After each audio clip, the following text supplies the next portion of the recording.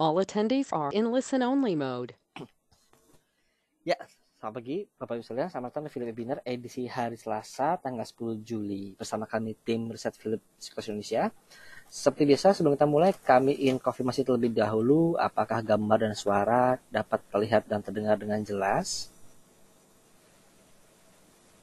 Baik, terima kasih Pak Pahitno atas konfirmasinya. Kita langsung mulai saja untuk sesi pertama akan dibawakan oleh rekan saya Pak Jasa Adi Mulia. Silakan Pak Jasa. Ya, baik, terima kasih. Uh, untuk hari ini IHSG kami perkirakan akan bergerak menguat terbatas atau bullish moderat dengan support level berada di 5681 sementara resisten levelnya berada di 5879 untuk market driver hari ini uh, indeks saham regional dibuka menguat ya mengikuti pergerakan indeks saham di waktu semalam tampaknya uh, sentimen positif mulai kembali ke pasar ini didorong oleh uh, ekspektasi uh, laporan keuangan yang musim laporan keuangan di Amerika Serikat akan mulai akhir pekan ini. Sementara itu juga investor untuk sementara waktu mengesampingkan uh, kekhawatiran yang berkaitan dengan uh, perang dagang. Dari geopolitik ada uh, pengunduran diri Menteri Luar Negeri dan juga sekaligus uh, negosiator Brexit Boris uh, Johnson. Uh, sebagai bentuk protes terhadap uh, keputusan uh, Perdana Menteri Inggris Theresa May untuk me memelihara hubungan erat dengan Uni Eropa. Uh, peningkatan risiko politik yang dibarengi dengan uh, ketidakpastian Brexit ini uh, diperkirakan dapat mendorong Bank of England untuk uh, menunda ya uh, normalisasi uh, kebijakan moneter di tahun 2018 ini. Sebelumnya pasar mempunyai ekspektasi bahwa uh, Bank of England siap untuk menaikkan suku bunga. Namun kalau melihat perkembangan terakhir dari sisi politik dan juga ketidakpastian Brexit mungkin Bank of England akan menunda uh, normalisasi uh, suku bunga tersebut dari kalender ekonomi untuk hari ini ada Business Confidence Index di Australia uh, dan juga ada rilis data CPI dan PPI di Tiongkok. Uh, sementara di Jepang ada rilis data machinery tool orders. Kita ke market news. Yang pertama itu PT Batavia Pro Prosperindo Trans atau BPTR yang baru listing kemarin uh, berhasil meraup dana 40 miliar. Uh, BT, B, B, BPTR uh, mentargetkan uh, mengelola 2.500 unit uh, kendaraan hingga ke 2018 hingga Juli 2018 ini uh, BPTR uh, telah berhasil mengelola 2000 unit uh, kendaraan. Berikutnya adalah PT Prodia Widya Usaha Widya Husada atau PRDA.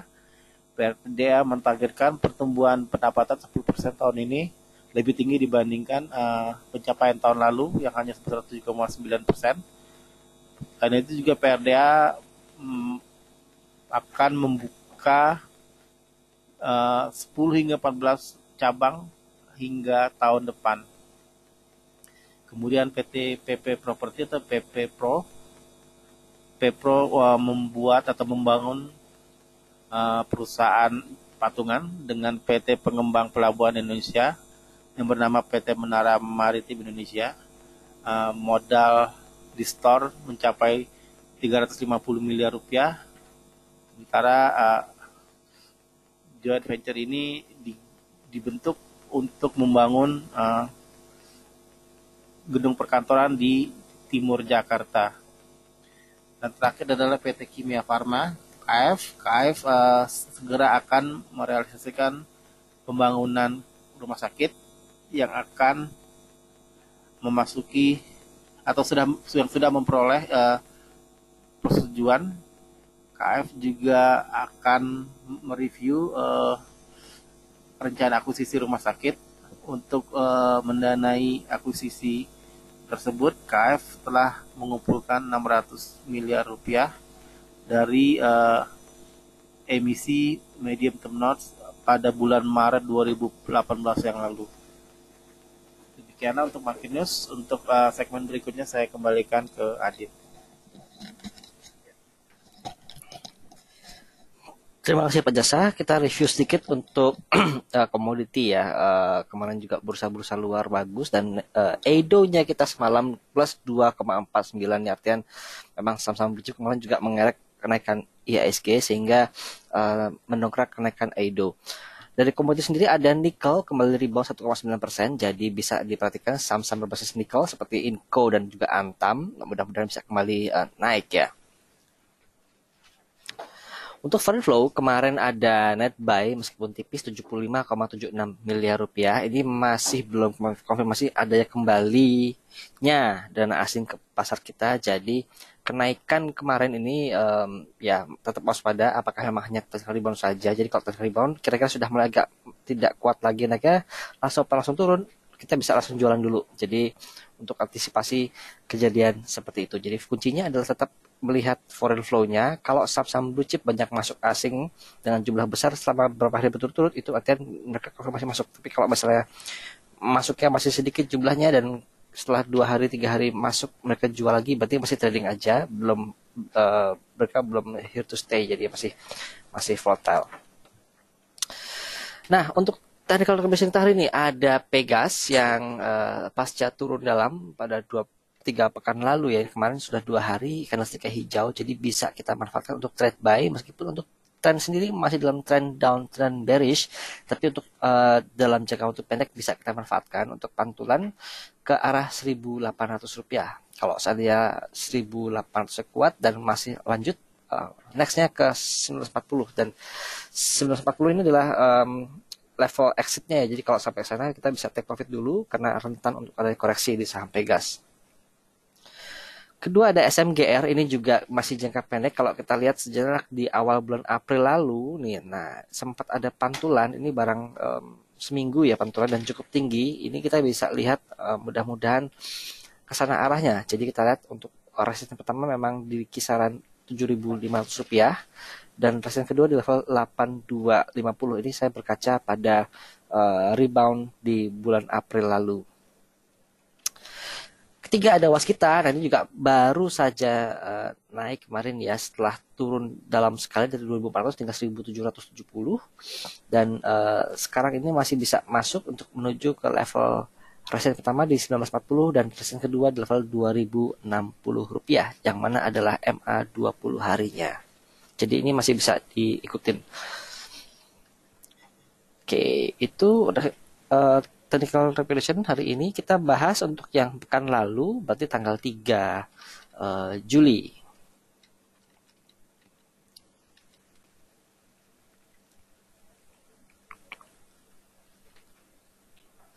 Iya, pertama ada Ali. Ini kita lihat uh, trade by 11.350 ya di tanggal 3 Juli sampai 11.875 untuk resistennya apakah tercapai? Kalau lihat dari komponya kayak enggak ya.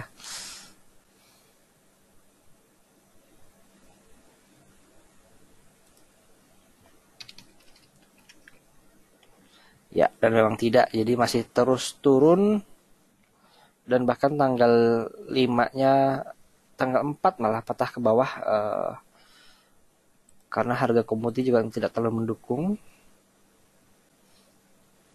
meskipun kalau dari indikator histogramnya eh masih di histogram sudah mulai rally ya. Oke, ini stokastiknya menarik. MACD line dan histogram juga sudah menarik. Iya, buat yang uh, senang spekulasi ini boleh ya spek buy di Ali ya tampaknya lihat dari indikator-indikator technical peluang untuk technical reboundnya cukup besar dan kalau ada technical rebound bisa mencapai MA20 nih bisa terlewati ya mungkin sampai kisaran 11.800 uh, rupiah untuk target price Ali.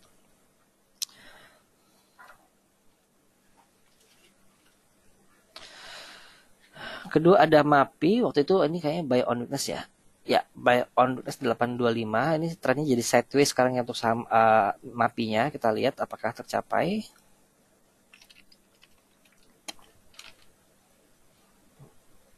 Tanggal 3.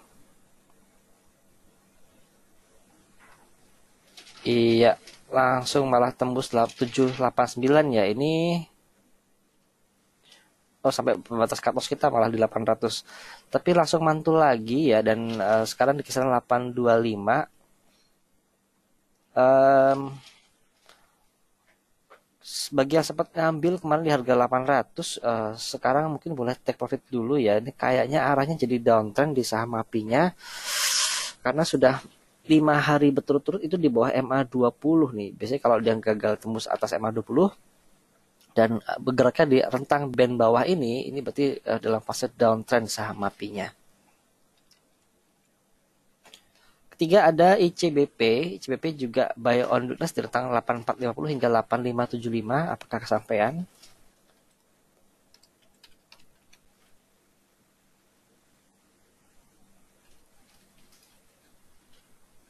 Iya, sampai di 84 oh, terendah 8 berapa nih? 84 50 pas banget. Uh, Oke. Okay.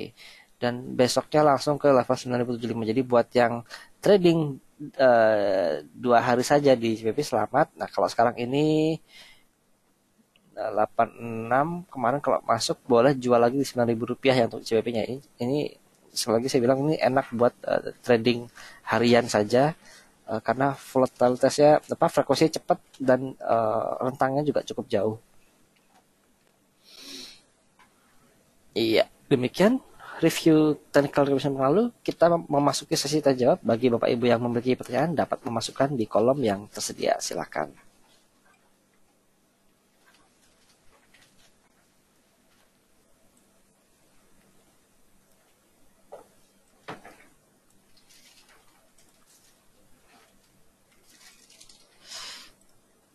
Pertanyaan pertama, Bapak Agung, uh, BRIS, BNG, dan PBSA apakah hold atau sell? Baik, kita lihat.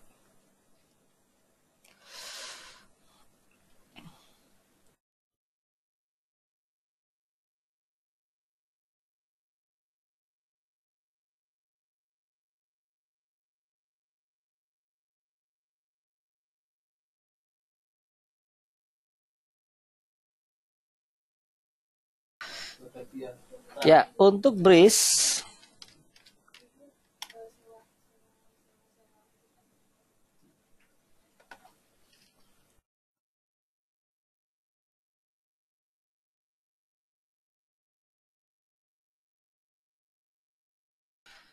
Ya, untuk Breeze ini masih tahap awal dari IPO ya. Ini sebenarnya kalau um, kita lihat sih masih sekitar harga-harga IPO jadi kalau untuk disimpan sih harusnya nggak apa-apa ya Pak Agung ya. Kita lagi fundamentalnya kalau memang masih solid ya aman.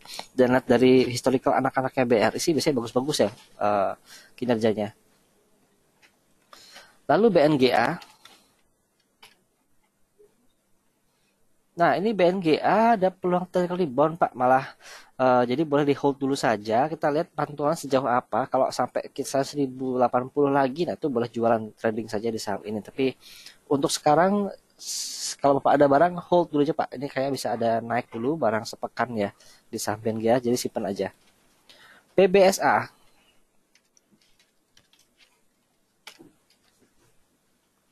Iya, ini nggak banyak gerak mungkin kalau bapak ya masih ada untung boleh lepas aja pindah ke saham lain yang kira-kira bisa lebih nguntungin pak karena ini kayaknya flat flat aja gerakannya dan susah gerak juga ya jadi bisa switch ke saham lain dulu Pak Junior Gunawan Medco USBP, BKSL, Unilever, prospek bagaimana? Oke, saya batasi tiga aja Pak ya. Nanti kalau ada waktu kita bahas yang keempatnya, BKSL saya kita simpan dulu. Jadi Medco, WSBP dan Unilever. Setelah turun banyak dan kita tunggu-tunggu kenaikannya karena harga minyaknya juga tinggi, nah akhirnya kemarin naik tajam ya. Tapi kalau kita lihat Medco ini kalau naik tajam gini biasanya nggak panjang, hanya dua hari saja. Jadi kalau yang sudah ada barang dan mau terjualan, siap-siap take profit di kisar seribu eh, dua puluh rupiah ya kalau sampai sana mungkin boleh lepas dulu saja di saham Medco-nya. Lalu ada WSBP. Oke, ini bisa naik ya. Jadi kalau masih belum ada yang masuk, uh, masih ada yang mau masuk, ini masih boleh sampai ke berapa kira-kira ya? Sedikit di atas MA20 ya, mungkin kisaran um, 390 untuk resisten di saham USBP-nya. Unilever pelan-pelan ini mulai uh, rebound uh, Pak ya. Jadi kalau yang sudah ada sebarang simpen aja nggak apa-apa Unilever.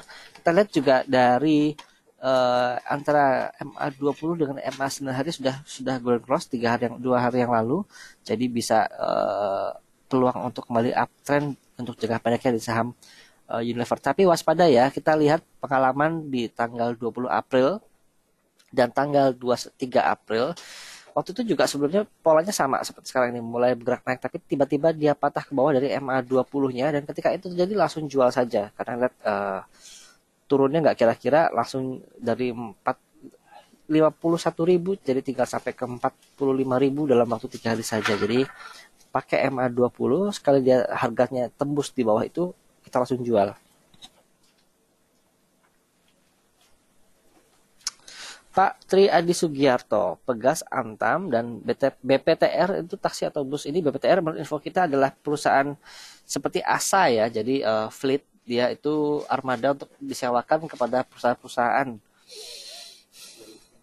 Iya, baru sih kemarin. Pegas tadi masuk target rekomendasi kita, jadi boleh trade buy Pak untuk Pegasnya uh, menuju paling dekat ke 1.800 rupiah untuk uh, resistennya. Dan lihat ini ada gap di rentang 1895 hingga ke 1940 rupiah. Jadi kalau 18-nya kuat tembus ke atas, ini menuju ke 1940 rupiah. Antam Ya, tadi nikelnya naik, mudah-mudahan bisa jadi katalis dan lihat dari harga sahamnya empat hari terakhir juga e, cenderung stabil ya. Ini boleh juga trade buy di saham Antamnya. E, resistennya kisaran e, 865 ini untuk aneka tambang.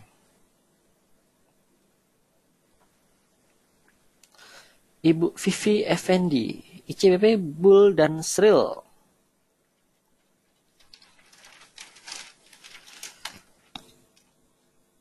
tadi Shopee juga uh, kalau ada barang boleh simpan dulu. Ini sehari ini kalau sampai naik sampai sembilan ribu sembilan ribu seratus rupiah bisa jual dulu ya. Kalau yang ada mau masuk hmm, salah sih tunggu dulu ya. Tunggu ada koreksi lagi sampai 86 baru bisa masuk lagi di saham ICBP nya bull. Ya naik lagi ya. Ini kita lihat mungkin masih dalam rentang uh, band atas dan band bawah di rentang 115 hingga ke 145 rupiah untuk trading di saham bull. Kalau sekarang ini pas tengah-tengah, buat yang mau masuk ya spekulatif bisa ya, tapi uh, begitu sampai 140 mungkin siap-siap untuk take profit dulu. Sril Sril ini spek buy ya untuk tarik rebound. Oh, mudah-mudahan akan ada tadi kali dulu hari ini menuju ke MA20 di kisaran 335.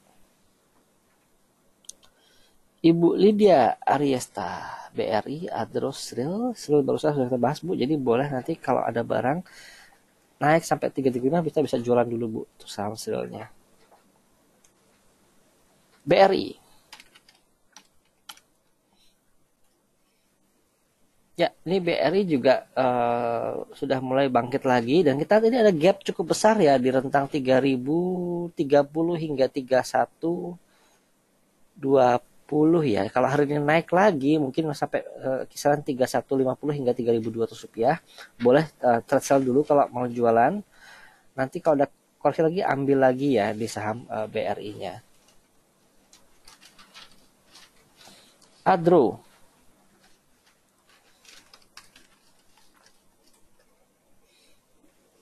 Adro uh, batu baranya kayaknya uh, apa ya mulai agak adem lagi emiten batu bara setelah kemarin naik duluan sebelum uh, saham-saham blue chip.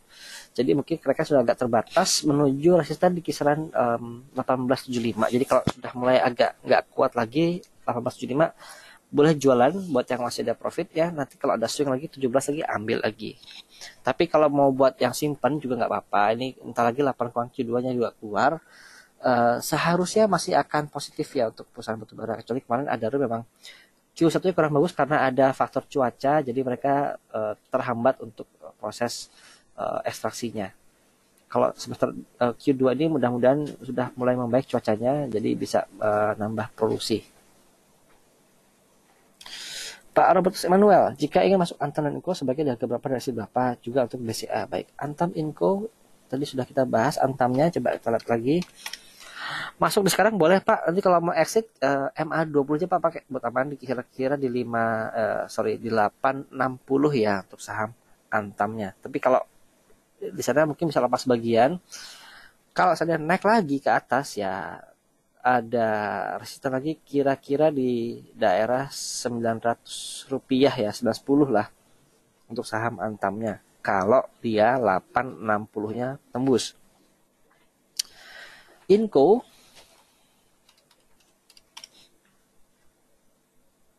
Iya, Inco malah agak di atas Pak. Ini kalau mau spek buy uh, manfaatin harga nikelnya sekarang masuk tapi 42 cepat-cepat keluar Pak. Ini karena kayak uptrend sudah selesai takutnya langsung patah ke bawah ya. Jadi ini lebih spekulatif sih Pak untuk saham inkonya.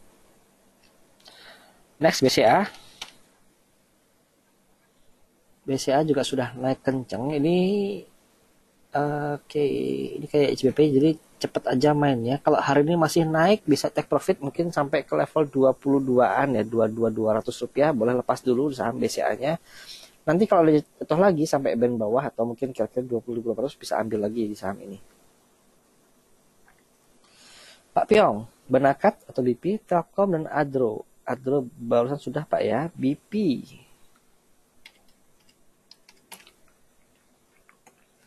Ya, masih turun Pak BP-nya. Ini sudah gocap ya.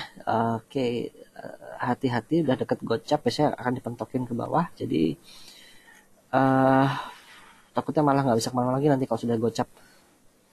Jadi itu aja Pak, hati-hati untuk BP. Kalau untuk masuk atau nambah posisi jangan di saham ini.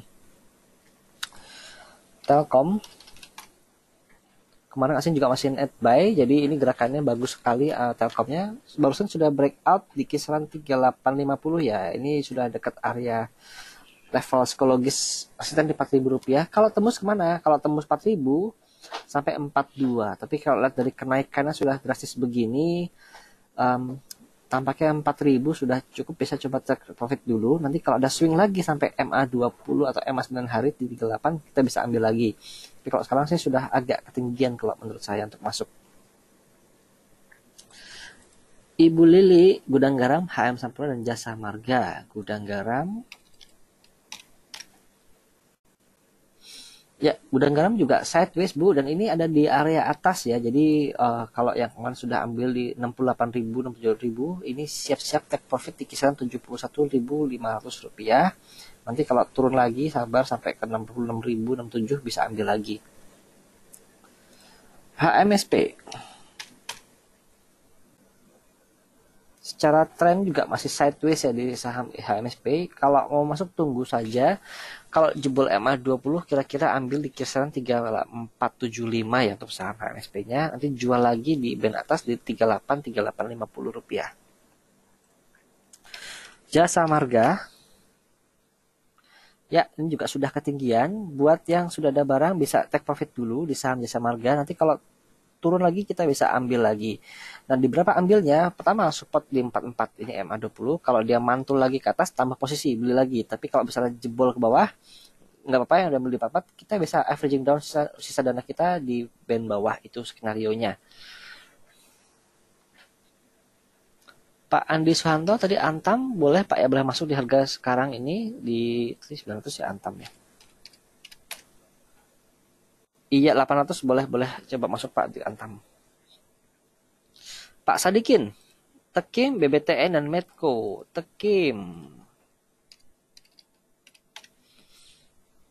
Iya, terus ada KP-nya. Oke. Uh, ini kalau mau buat trading jangka pendek kayaknya bisa, tapi untuk hold kayak sudah selesai Pak untuk uptrendnya di saham Tekim maupun INKP-nya. Jadi buat manfaatin technical rebound buat jualan. Di berapa kira-kira technical rebound-nya? Ya sampai MA20 aja kisaran 15.800 Pak. Jadi kalau sekarang Bapak mau masuk ini spekulatif boleh. Nanti kalau naik sampai 15.8 kembali jualan. Pak Andi Suhanto, Bayan, iya kemarin saya juga bosan lihat saham Bayan, diam-diam dia sudah 15.000. Tapi lihat dari volume memang nggak banyak ya, jadi nggak banyak yang megang saham ini dan harganya juga sangat volatile. Uh, saya ngomong soal batubara secara keseluruhan saja, memang uh, ini lagi bagus lagi untuk kinerja emiten batubara. Untuk Bayan sendiri saya belum melihat seperti apa laporan keuangannya. Bapak bisa lihat bandingkan PE ratio dengan perusahaan-perusahaan uh, batubara lainnya seperti PTBA, Adaro, ITMG dan juga um, Indika. Kalau masih uh, lebih murah atau valuasi lebih menarik itu boleh masuk tapi kalau misalnya sudah lebih kemahalan jangan masuk lagi dan mungkin kalau bisa manfaatkan saham-saham batubara lainnya yang gede kayak UNTR, PTBA, Indika yang uh, gerakannya bisa lebih dibaca daripada Bayan Resources. Pak Prayitno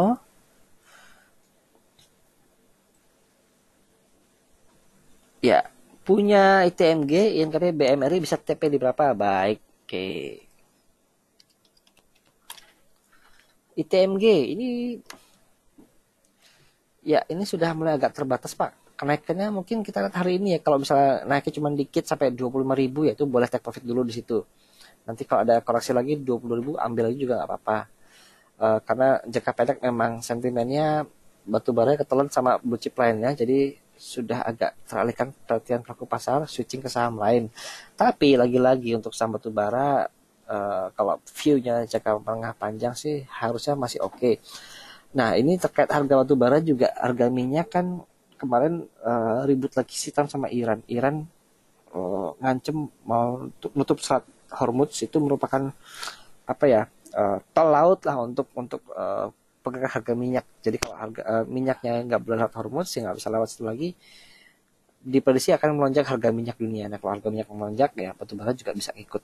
Jadi itu untuk uh, prediksi. Mudah-mudahan nggak lonjak ya karena untuk kalau melonjak korbanan juga kita kita juga ekonomi kita uh, impor minyak. Jadi kalau minyak naik ya semuanya susah. ITE INKP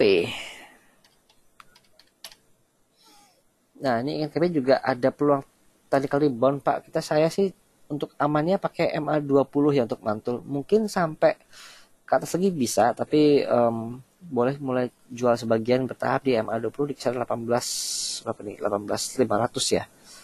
Untuk saham INKP. Nanti kalau misalnya tembus lagi ke atas menuju 20.000, nah lihat lagi. Kalau 20.000 tembus lagi atau pikirkan 20.500 ya, ini tembus lagi ke atas berarti dia lanjut naik untuk saham INKP tapi kalau misalnya udah sampai uh, eh, MA20 aja udah gak kuat turun lagi berarti selesai uh, uptrendnya. Bisa uh, kita uh, bearish mode di saham INKP BMRI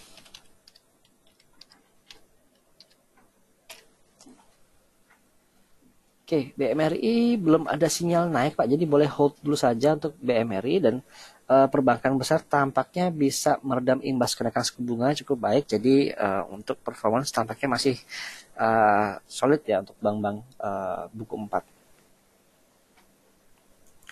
Next Ibu Linda, BBNI, IMAS dan ERA.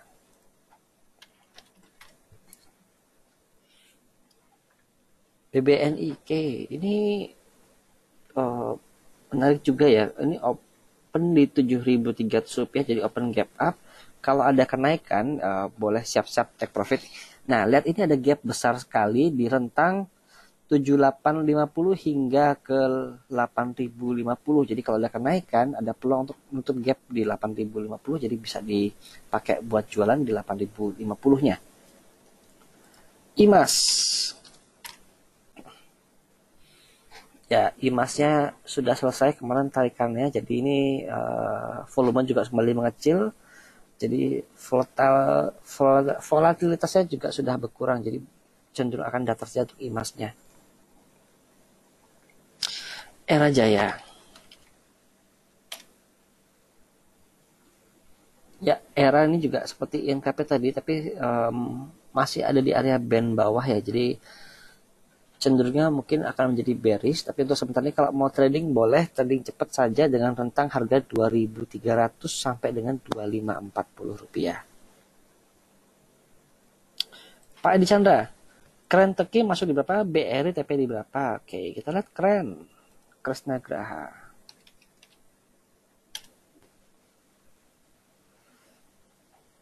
Untuk masuk uh, saya nggak sarankan sekarang Pak ya. Mungkin kalau ada koreksi lagi sampai kira-kira 720 eh 706 hingga 725 ini boleh masuk di rentang tersebut. Kalau mau jual lagi ya harga sekarang sama 775 tuh buat jualan Pak. Jadi jangan masuk dulu ya saham kerennya ya.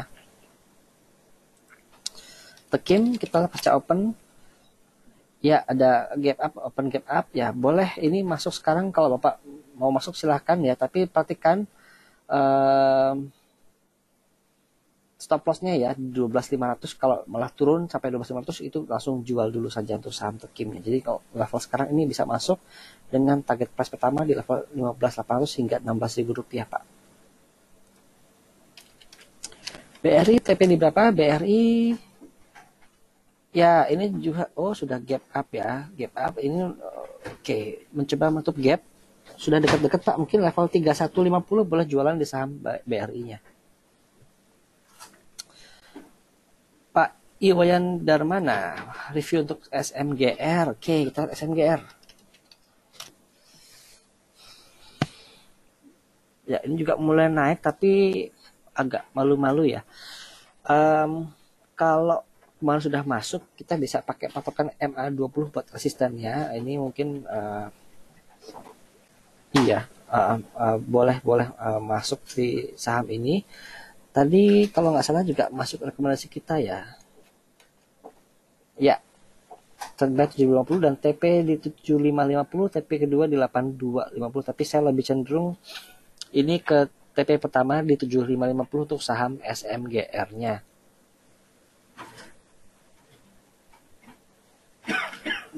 Ya, berikutnya ya namanya nggak muncul nih Pak ya. WSBP apakah boleh masuk WSBP? Kita lihat dulu induknya WSBP. Was kita tadi juga masuk rekomendasi kita dan uh, masih naik. Jadi WSBP-nya diperkirakan juga akan bergerak naik juga. Sekarang di harga 378 tapi mungkin sudah agak terbatas Pak sampai ini MA20 versi pertama sudah dekat di 382. Kalau dia tembus ke atas ya kita ada gap di 408 mungkin menuju ke sana ya tapi lihat dulu ini MA20 nya kalau dia breakout 38 berapa nih? 383 uh, bisa ikut dan jual nanti di 410 oke pendingan tadi Bapak tadi siapa yang nanya? Uh, ah ya Pak Junior ya. BKSL bagaimana? Wah, ini kembali mantul ya BKSL-nya. Uh, tapi ini jangka pendek saja Pak. Jadi untuk jangka panjang masih trennya bearish. Uh, kalau trading kemarin sudah ambil kisah harga 100 rupiah bisa pakai 120 buat jualan dulu. Oke, demikian. Tampaknya sudah tidak ada pertanyaan lagi. Kita cukupkan webinar edisi hari ini. Mudah-mudahan dapat bermanfaat. Uh, mohon maaf jika dengan penyampaian ada kurang berkenan. Selamat pagi dan salam cuan.